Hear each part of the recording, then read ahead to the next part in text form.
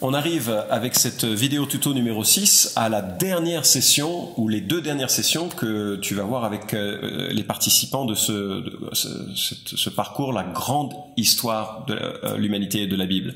Et donc euh, nous sommes là sur ce, dénouement extraordinaire du problème de l'humanité. Et ce, dénouement, il passe déjà par la mort de Jésus, mais on imagine les disciples totalement dépité parce que ce grand homme qui, parlait avec tant de sagesse, qui faisait tant de miracles, il est mis à mort. On dirait que l'espoir se, se, termine avec sa, avec sa mort. Mais ce qui est unique au christianisme, c'est que la mort, elle est vaincue. Et c'est ça que l'on veut relever dans ce euh, passage, c'est que Jésus a vaincu la mort et que cette histoire de résurrection ouvre une espérance pour nous qui est phénoménale. Alors la dernière fois, on a vu que Jésus avait été euh, mis dans un tombeau, et donc c'était quelque chose de très factuel. On savait où il avait été mis. C'était un corps qui avait été brisé par la crucifixion, qui a été placé dans ce tombeau. Il était mort de chez mort. Et puis, euh, euh à la grande surprise, il n'y avait rien qui l'anticipait dans, dans, dans la, la, à part les propos même de, de Jésus, mais rien ne l'anticipait le voilà qu'il ressuscite. Alors c'est un euh, c'est un terme qui euh, c'est un thème qui nous concerne et euh, dans toute la discussion que l'on a, il faut vraiment euh, orienter sur la, la, factualité un peu à la fois de la mort, mais aussi de la euh, résurrection, et puis montrer que ce qui advient de Jésus ouvre une espérance. Et en cela, cette, cette histoire nous concerne énormément. Elle ouvre une espérance, et c'est pourquoi aussi Jésus, à la fin de ce, de, de, ce chapitre, engage ceux qui le connaissent à parler d'un changement de mentalité, d'une relation à cœur à cœur avec Dieu, qui, s'appelle, qui passe par la repentance, donc une réalisation que oui, nous sommes brisés, oui, nous sommes brisés comme euh, à la deuxième session, euh, telle que la deuxième session l'a évoqué, mais oui, Jésus vient pour nous restaurer, pas simplement en nous pardonnant, mais également en nous donnant une espérance qui va au-delà de la mort. Il y a une question qui dit aussi dans cette session-là, que vous inspire ce récit? Alors là, on est, vous êtes à votre sixième rencontre. Je pense qu'il s'est passé tout un tas de choses. Euh, il y a une confiance qui s'est instaurée, installée entre les l'animateur, les participants. C'est aussi un moment favorable pour peut-être aller plus loin. Qu'est-ce que t'inspire ce récit? Est-ce que dans dans ces sessions ou dans ta vie d'avant, t'as as vécu quelque chose avec Dieu, est-ce que ce Jésus qui se révèle, tu, tu, voudrais lui demander avec tes mots qui se révèle à toi euh, aujourd'hui? C'est quelque chose en tant qu'animateur, vous pouvez proposer à ce moment-là. Peut-être pas systématiquement, mais c'est une bonne, euh, un bon moment aussi parfois pour le faire en fonction de l'inspiration. Et puis le dernier thème, celui que nous abordons maintenant, eh bien c'est le thème synthèse qui donne sens à tout ce qui a été dit et qui invite à une prise de conscience, peut-être un positionnement personnel. Mais là encore, c'est Dieu seul qui donne cela. Nous, nous sommes juste des témoins qui animons les, les gens sur euh, cette grande histoire et nous laissons à Dieu le soin de convaincre euh, de la véracité et de la pertinence de cette histoire. Et c'est le thème suivant. Wow, tu as parcouru avec tes amis 12 euh, sessions, 12 thèmes en 6 rencontres. Euh, on est vraiment sur le moment synthèse, le moment crucial, le moment où on, nous la gère en quelque sorte de tout ce qui a été dit. Et on a choisi euh, deux textes qui permettent de se représenter un peu cette, cette synthèse. Alors, la grande idée de, ce, de cette session, c'est de montrer qu'il y a besoin d'une réponse à, à, ce message. Mais que ça, c'est un, une réponse de cœur, c'est une réponse individuelle, il n'y a aucune pression, c'est Dieu hein, qui donne la repentance, c'est Dieu qui donne la foi, c'est pas quelque chose que nous pouvons fabriquer nous-mêmes par notre propre volonté. Mais on peut montrer du doigt, enfin pointer du doigt, pardon, les, les éléments centraux qui constituent cette, cette réponse. Alors on voit l'apôtre Pierre qui fait la synthèse un peu de, de, de toute la grande histoire de, qui, qui, le précède en quelque sorte, qui donne sens à ce qui s'est passé.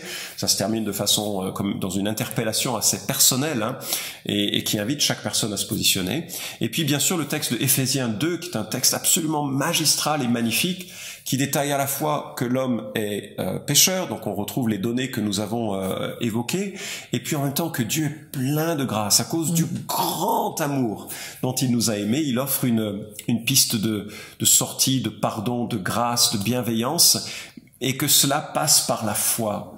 On ne peut pas mériter le salut, on ne peut que le recevoir. On ne peut pas l'acheter, il est donné. Ça, c'est la grande idée de l'évangile. C'est quelque chose euh, que l'on veut mettre en avance. Pourquoi le titre de cette ultime session s'appelle la grâce de Jésus. Et il faut vraiment mettre l'accent sur cette notion que Dieu fait grâce. Dieu a pris l'initiative tout au long de ce euh, de cette grande histoire. Dieu a pris l'initiative de venir rejoindre les hommes. Nous ne pouvons être que des récepteurs de cette grâce.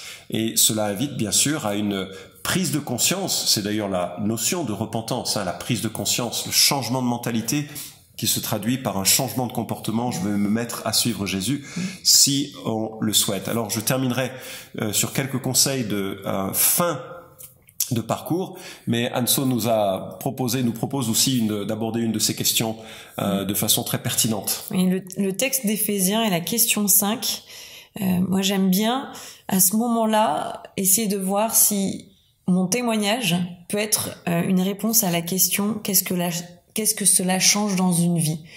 Et à ce moment-là, je dis aux gens est-ce que ça vous intéresserait que je vous raconte comment a démarré ma relation personnelle avec Dieu, euh, comment Jésus est venu changer, transformer quelque chose de radical dans ma vie et pourquoi je le suis aujourd'hui et pourquoi on est là en fait, euh, pourquoi je suis là avec vous?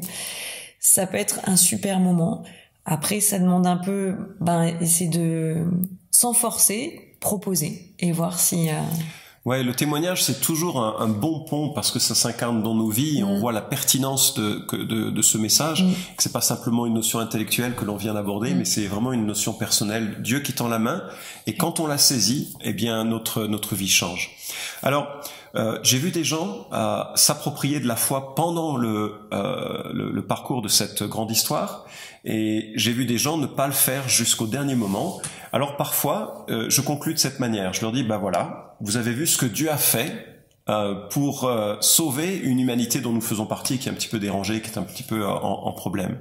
Maintenant, la réponse, elle t'appartient, elle t'appartient dans ton cœur, elle t'appartient devant Dieu, elle ne m'appartient pas et ça me gêne pas que tu dises oui ou que tu dises non à ce message. C'est vraiment quelque chose qui est personnel.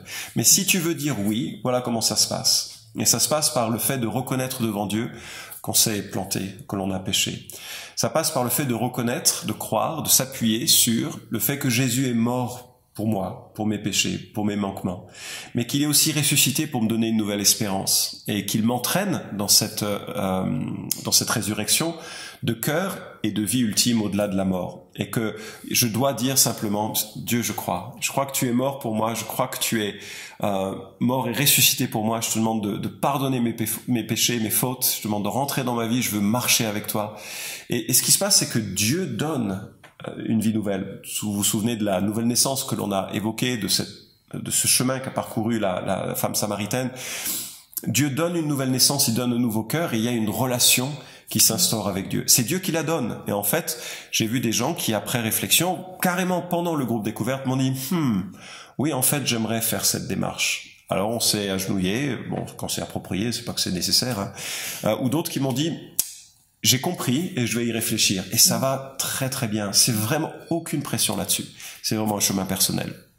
Alors maintenant, on peut aussi proposer à, à ceux qui ont fait ce parcours d'aller plus loin d'une autre manière en disant bah, peut-être que maintenant tu pourrais venir voir euh, un, une célébration avec euh, ceux et celles qui connaissent Jésus et de voir comment ça se passe quand on quand on aime Jésus et qu'on on vit une vie euh, de, de communauté, enfin d'église, parce que cette communauté se fait peut-être un peu un peu peur et un peu bizarre, mais de venir voir un, un, culte le dimanche matin, de voir comment les chrétiens se sont appropriés de ce message et, et célèbrent le message qui les a transformés. Ça peut être sinon euh, l'occasion d'aller plus loin dans la découverte de la Bible. On va proposer dans la, euh, la le descriptif de cette vidéo un certain nombre d'outils qui peuvent être des outils de discipola ou des outils, des outils qui permettent d'aller encore plus loin dans la compréhension de la Bible ou de la personne de Jésus-Christ. En fait, chaque personne va avoir un, un chemin à faire mm. et euh, c'est, il faut être sensible au Saint-Esprit, sensible aux, aux opportunités qui sont là pour aider la personne à aller plus loin ou peut-être simplement elle sera heureuse d'avoir fait ce parcours. Il faut, faut en arrêter là, faut en rester là.